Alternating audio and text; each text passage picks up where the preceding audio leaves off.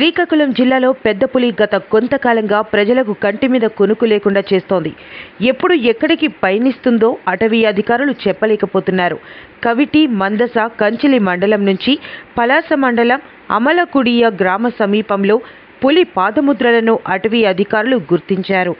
మెలియాపుట్టి మండలం ఉదయం కనిపించిందన్నారు. సమీప ప్రాంత ప్రజలను అప్రమత్తం చేశారు. పులి అడుగుజాడల కోసం అటవీశాఖ అధికారులు ఎంత ప్రయత్నించినప్పటికీ ఆచూకీ లభించలేదు. ఎట్టకేలకు సాయంత్రం నందిగాం మండలం బడగాం గ్రామ సమీపంలో పెద్ద పులిని చూసి గ్రామస్తులు భయాందోళన చెందారు. అటవీశాఖ అధికారులకు సమాచారం అందించారు.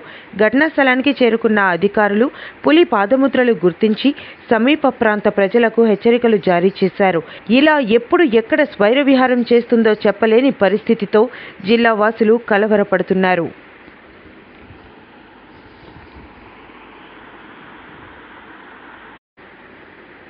శ్రీకాకుళం జిల్లాలో పెద్ద పులి గత కొంతకాలంగా ప్రజలకు కంటి మీద కొనుకు లేకుండా చేస్తోంది. ఎప్పుడు ఎక్కడికి పయనిస్తుందో అటవీ అధికారులు చెప్పలేకపోతున్నారు. కవిటి మందస కంచిలి మండలం నుంచి పలాస మండలం అమలకుడియ గ్రామ సమీపంలో పులి పాదముద్రలను అటవీ అధికారులు గుర్తించారు